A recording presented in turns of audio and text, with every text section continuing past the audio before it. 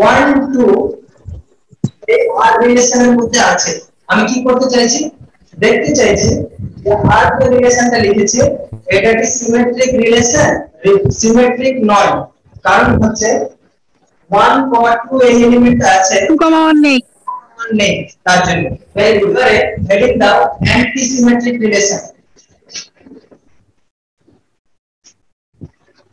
কি sir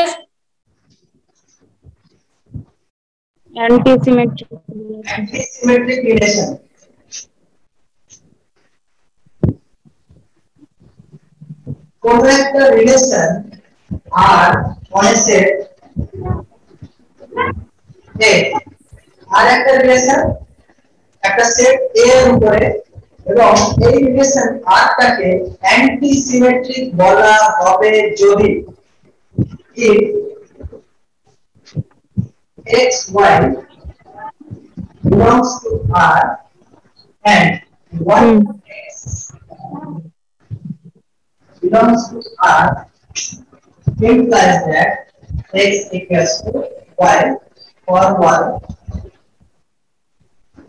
x y তাহলে anti symmetric relation হচ্ছে যে সিমেট্রিকটা মনে রাখবে তাহলে অ্যান্টি সিমেট্রিকটা পেরে যাবে সিমেট্রিকে কি ছিল সিমেট্রিকে প্রথম টুকটা ছিল।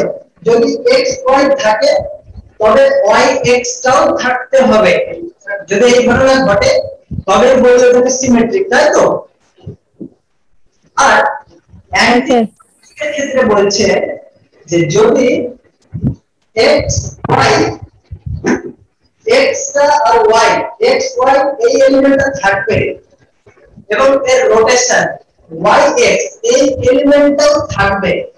এবং ওই দুটো জিনিস একসঙ্গে মিলে গিয়ে যদি x y এই জিনিসটা রিপ্রেজেন্ট করে বা এটা যদি হয়, সমান যদি হয়ে যায়, তবে ওটাকে বলব অ্যান্টি সিমেট্রিক এবার ধরো একটা উদাহরণ নিচ্ছি,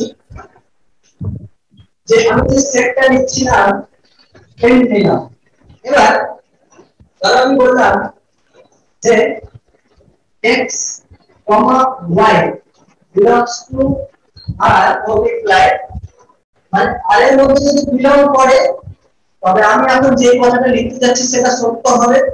এবং এই কথাটা যদি সত্য হয়, তাহলে এই এলিমেন্টটা r এর মধ্যে বিলং করবে।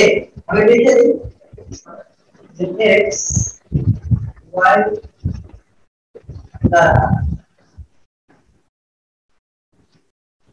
বিভাজ্য। যে x টা যদি y দ্বারা ভাগ করা যায় তবে x y টা r এর মধ্যে থাকবে বোঝাতে পারলাম যদি আমি লিখি এখানে যে y, x belongs to r তাহলে এটার জন্য এই দিকে কি লিখতে হবে আমাকে y x দ্বারা বিভাজ্য y টা x দ্বারা বিভাজ্য তাই তো মানে যেটা লিখতে তার প্রথম হ্যাঁ দ্বিতীয় এলিমেন্ট দিয়ে বিভাজ্য। তাহলে এক্ষেত্রে প্রথমে কি আছে? Y আছে। শেষে কত আছে? X আছে। তার মানে y টা x দ্বারা বিভাজ্য। তাই তো? এখন তোমরাই বলো যে একটা সংখ্যাকে যদি বলি যে এই সংখ্যাটা দ্বিতীয় আর একটা সংখ্যা দিয়ে বিভাজ্য এবং উল্টোটা ওই সংখ্যাটাকে প্রথম সংখ্যা দিয়ে বিভাজ্য এটা কখন হয়?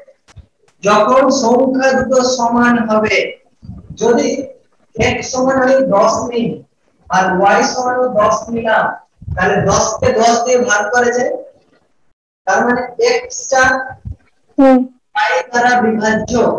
এবং উল্টোটাও y টা x দ্বারা বিভাজ্য। এই সমান হওয়া ছাড়া আর কোনো জায়গা নাই যেখানে একটা অপরটাকে ভাগ করলে অপরটা প্রথমটাকে ভাগ করবে।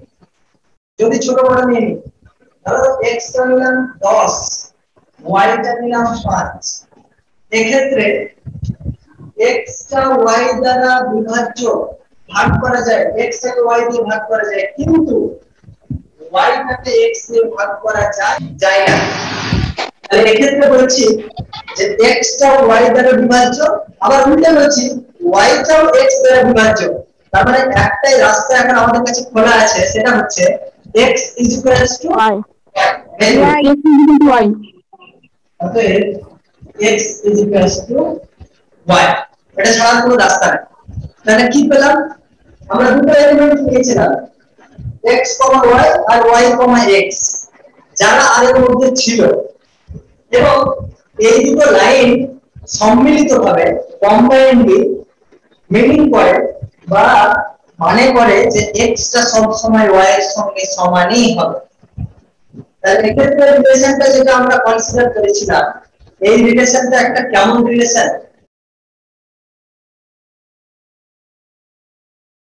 ট্রানজিটিভ রিলেশন কাকে বলা হবে যদি ধরো আর একটা রিলেশন 1a আর একটা রিলেশন নিলাম সেট a এর উপরে এবং r কে এই রিলেশনটাকে ট্রানজিটিভ বলা হবে যদি x comma y belongs to R and y comma z belongs to R implies that x comma z belongs to R.